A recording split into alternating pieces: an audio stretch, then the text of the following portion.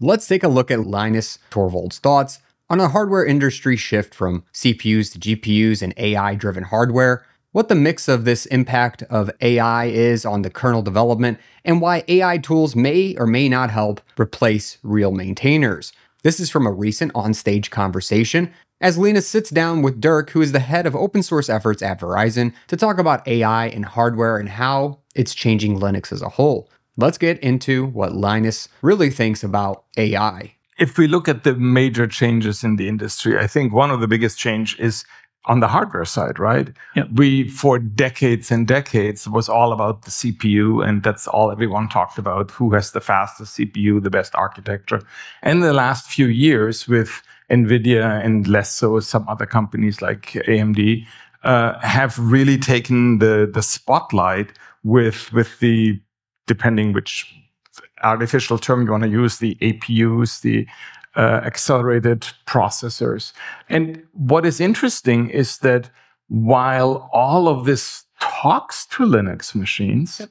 it's actually not Linux that is running on these processors. So how do you think about that evolution that the, the center of the hardware attention actually moved away from us? I I don't see it that way. So uh, partly because I still think that the most interesting part is the general purpose CPU. It may not get the news so much because it's been around forever and it is what it is, and, and people kind of take it for granted. And uh, Linux is there to do all the maintenance and the bring up and the like all the UIs and everything that you kind of expect from a system.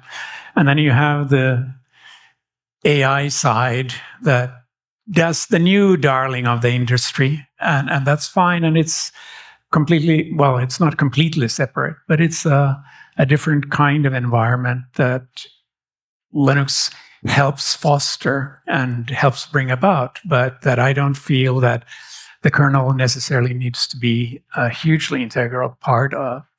Yeah, I mean, Linux is obviously the launchpad where all of the interaction happens, but the the software that drives this hardware for the first time in decades is now again predominantly proprietary. The the yeah. microkernel running on the GPUs, uh, a software stack like CUDA on top, that's all proprietary software. But that's to me, as a kernel person, that's really no different from user space. Yeah. So that has always been true that uh, while I personally love open source and I would not want to be involved in any project that isn't open source, to me, it has never been religion, right? So I do open source and Linux is open source, but people have always run uh, commercial applications on top of Linux, uh, whether they be big databases, whether they be cloud services, anything like that.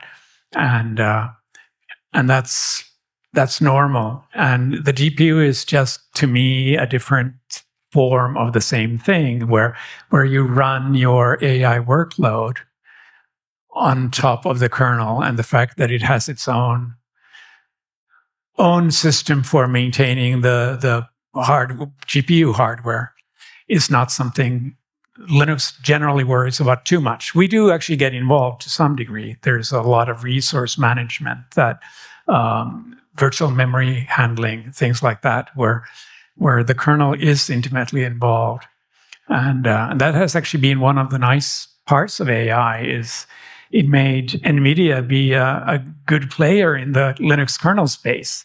Uh, famously not true 20 years ago these days when when Linux has been so important to the AI cloud, uh, suddenly NVIDIA cares deeply about Linux, and we have a lot of kernel maintainers from from from that quarter too.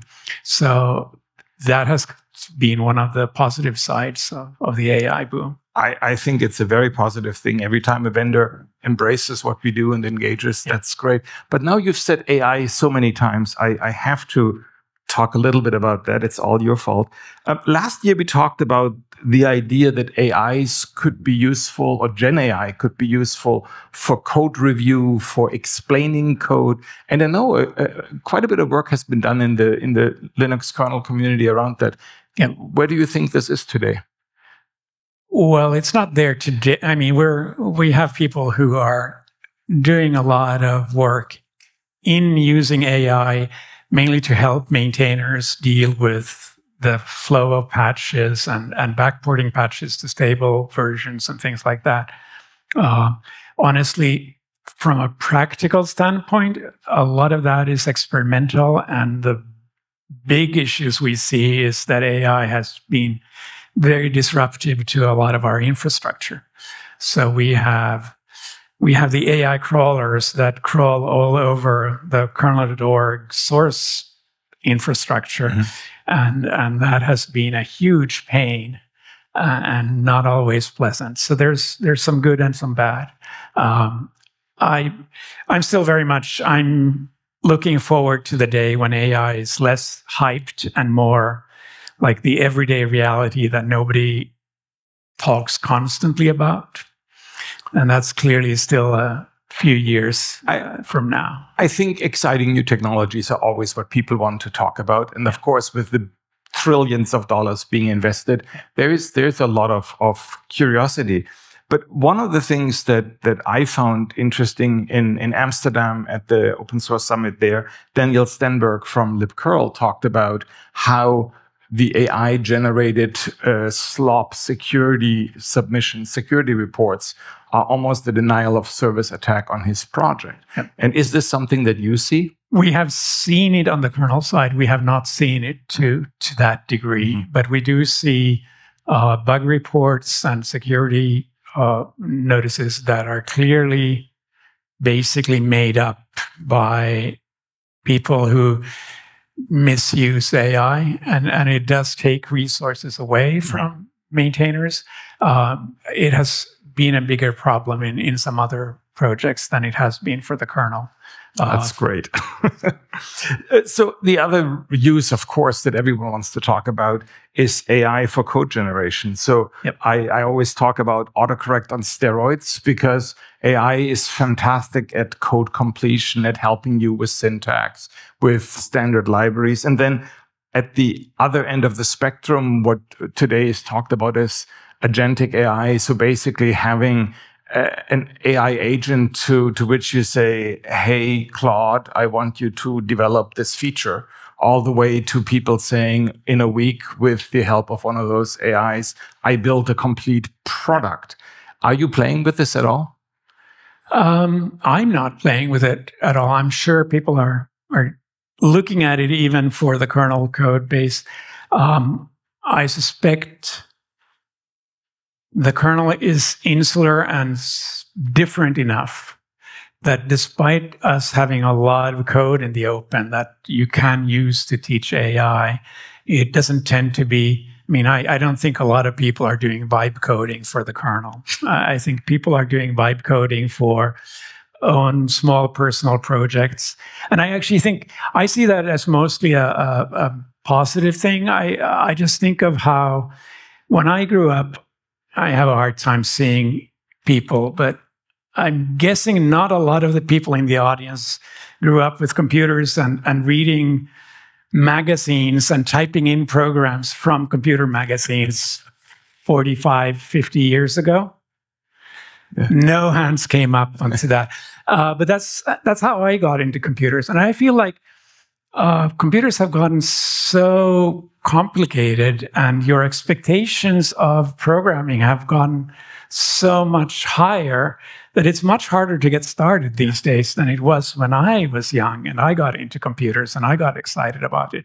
And I actually think that vibe coding may be a horrible, horrible idea from a maintenance standpoint if you actually try to make a product for it.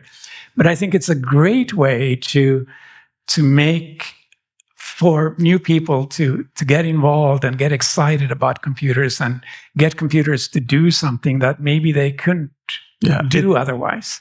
And so I actually am fairly positive about, about this all. And I mean, and that's really ignoring all the people who then hope to make billion dollar companies by just using vibe coding. But uh, I, I see it as something exciting and something new and something good, even if clearly uh, I think people's expectations from a, when I talked earlier about how real projects are a lot about maintaining it. And uh, I, I, think people will notice that vibe coding may not be the way towards that.